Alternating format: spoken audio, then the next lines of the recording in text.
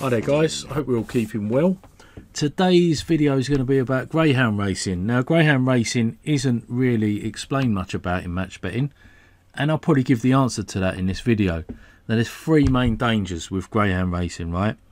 And in this video I'll go over that and what to expect and what happens when there is a non-runner. Now this is the main danger in my opinion and you know it's pretty obvious why which I'll explain about.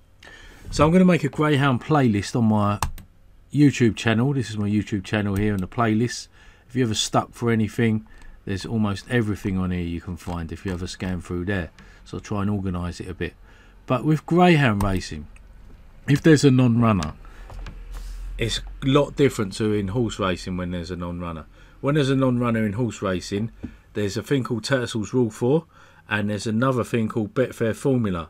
Now, the Betfair Formula will calculate a price that your horse will be deducted by if it's successfully laid. So let's say we laid something in a horse race, we laid this one here in a horse race, and this dotty dot was a non-runner. In a horse race, that will the lay will still remain in the race, but it'll be calculated. But in dog racing, if dotty dot was a non-runner in this, even if you've successfully laid this Sal Hakers Badger, that will be cancelled, that bet and this is where the big problem lies with greyhound betting. Because say dotty dot weren't running for whatever reason you've now got a five dog race. And the biggest problem with this excuse my alarm that's a horse race. God ruins my life that does these alarms.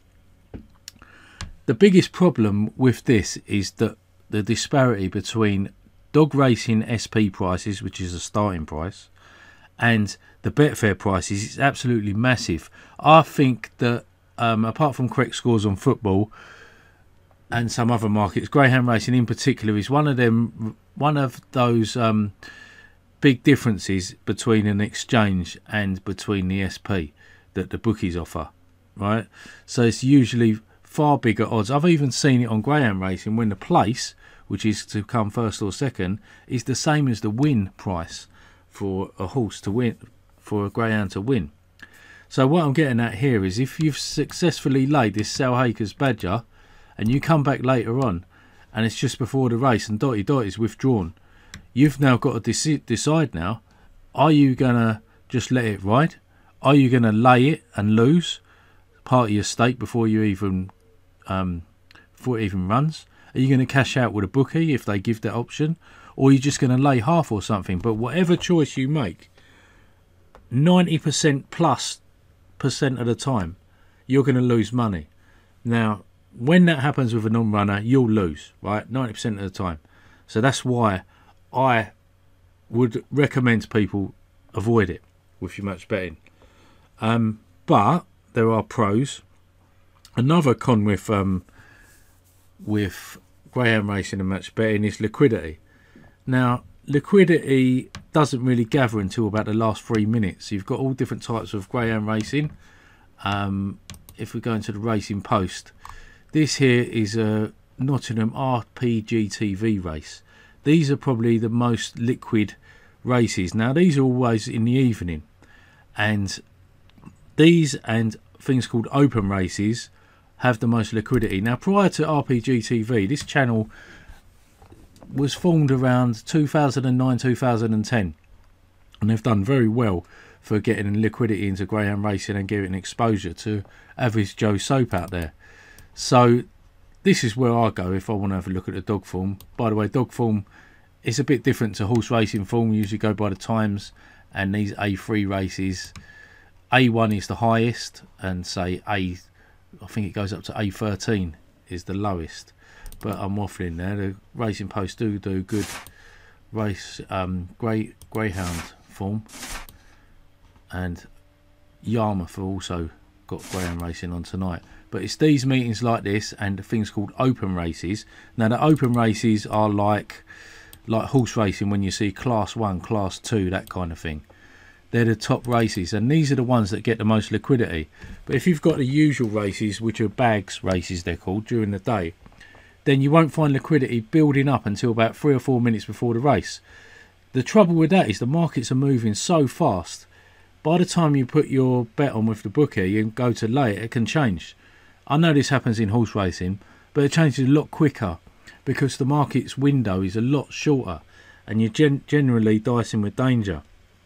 Now, if we look at this RPG TV race tonight, now it's, what day is it? I don't even know what day. It's Monday today, so there's not much going on. Like 6:41 at Nottingham. If we go on here, this by the way is Odds Checker. Back in the day before odds matches, we would just come on to Odds Checker and compare it versus Betfair. Smarkets do do greyhounds, but they haven't got these markets at the moment. I prefer Betfair, pay 2%, and you've got more liquidity, I've found anyway, it's just my opinion. This here is an ARB, I suppose, 2.36, but let's say you was going to lay that, back it was Sky Bet, um, you could lay that in there, but like I said, if there's a non-runner, you're going to come unstuck.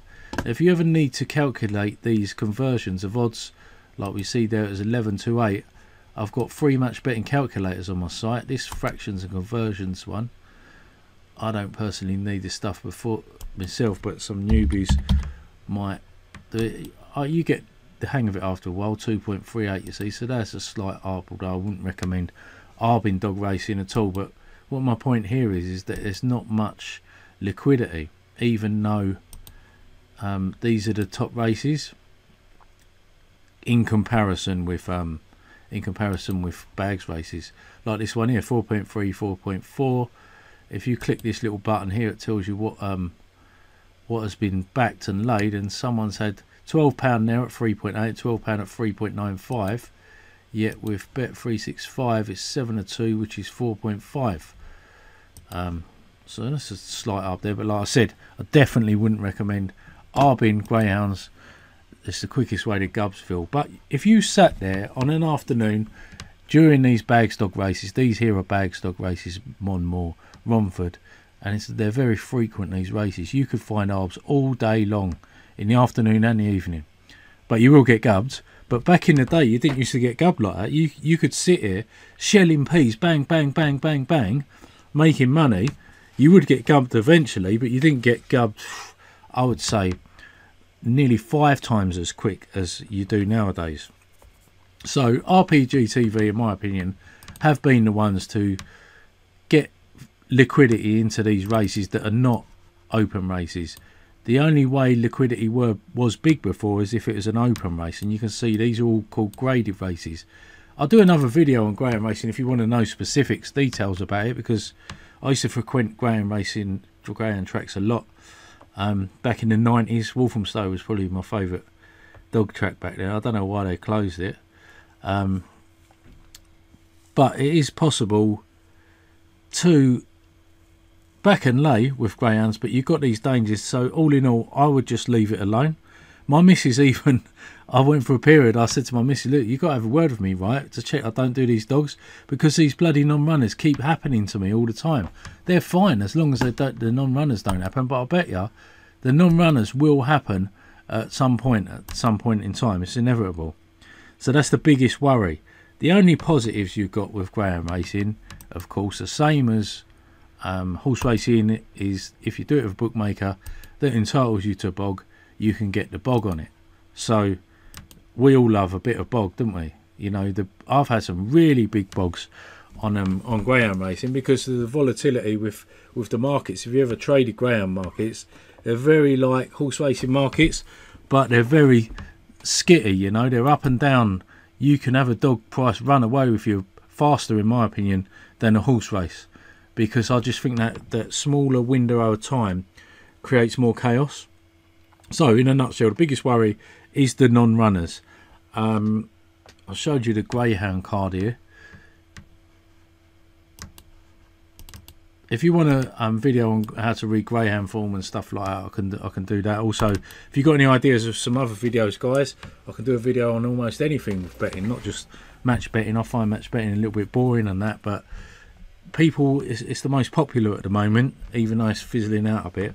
So don't forget to comment, like, subscribe to the video. If you've got any um, any ideas for videos, let me know. The member site I was going to bring out this year, I might be bringing it out later in the year. Of course, there's been a lot of delays at my end.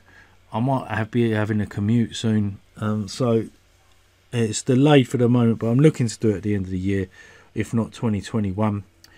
But I hope everyone else has been well. leave down in the comments how you've been getting on with your betting and stuff, and also some ideas for videos, guys. But in a nutshell, don't play with them dogs. But the the other thing I like about greyhound racing is if you're one of them people that is a full timer or something, you're sitting there all day long doing horse racing. It's nice to have a bit of greyhound racing as well as to complement your your football in the evenings, especially in the summer when there's no football.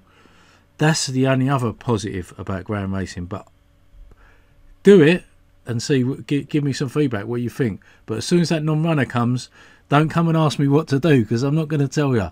Anyway, good luck, guys. All the best.